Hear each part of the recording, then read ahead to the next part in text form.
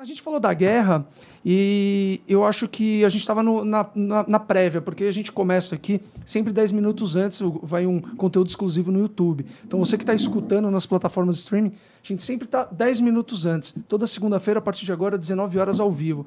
E a gente falou da guerra, porque sempre fala que o Santos foi o time que parou a guerra, da Nigéria mais precisamente. Sim. Só que os dois não estavam. Sim, é, verdade. Foi em 69, eles já tinham parado já. E incrível, né? Uma, uma excursão, né? na verdade, o Santos já tinha jogado na Nigéria e retorna depois sob a garantia de que haveria uma segurança né, para o Santos poder atuar, porque era uma, uma região emblemática, né, justamente ali a região de Biafra.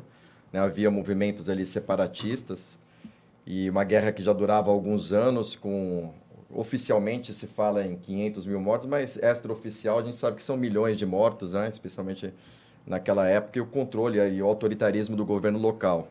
E o Santos, de fato, né, ele conseguiu fazer ali um, um cessar-fogo né, durante aquele, aquele período que o Santos parou e pôde jogar numa região que era uma região bastante conturbada, né, já anos de guerra. Essa guerra só viria a parar em é, no ano seguinte, em 1970, né, mas causando um grande desastre para a Nigéria. Né.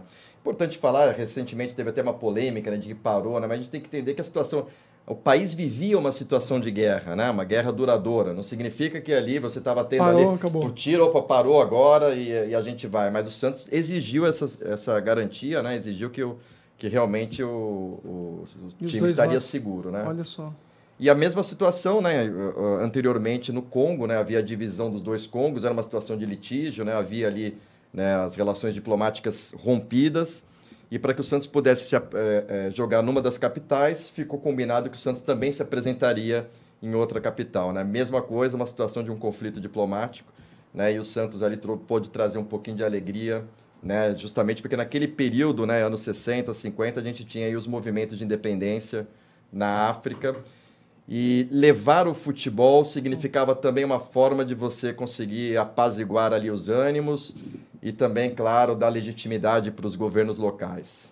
É, é, como se hoje o Santos fosse jogar na, na Ucrânia e na, e na Rússia, ou fosse jogar na Coreia do Sul e Coreia do Norte, imagina. Exatamente. Não necessariamente ali numa zona de guerra, mas dentro do país, mas para... né, com as garantias de que, de que, que não haveria. Né? É o respeito que o Santos tem, né?